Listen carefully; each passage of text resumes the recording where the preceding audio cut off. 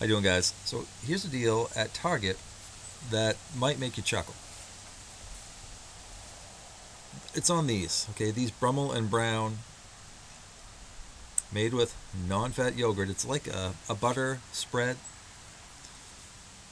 Uses yogurt and oil. It's it's a it's in by where you'd find the margarine, okay, with the butter at Target.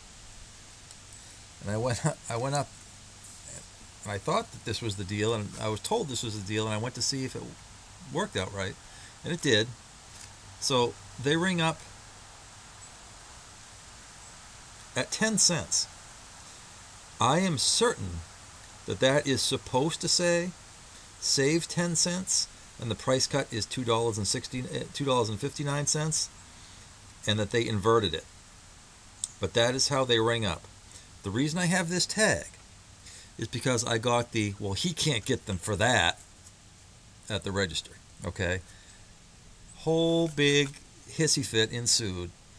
Point is, they were they pulled the tags down and said there's no way that's right. And the truth is, I don't know if it's right. I don't. Oh, in fact, I do know it's it's not supposed to be right. It says the price is good until um, November 10th. There's no way that they're putting these on things on sale for a dime. You know, for the next what three weeks. So I don't know how long that's going to last. The, the sign at my local Target clearly has been taken down.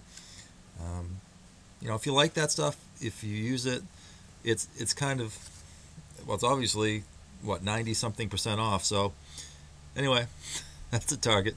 See you guys.